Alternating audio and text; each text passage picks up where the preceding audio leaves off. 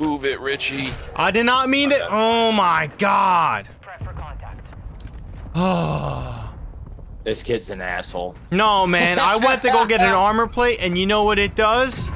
Oh, here. You're going to be most wanted, too.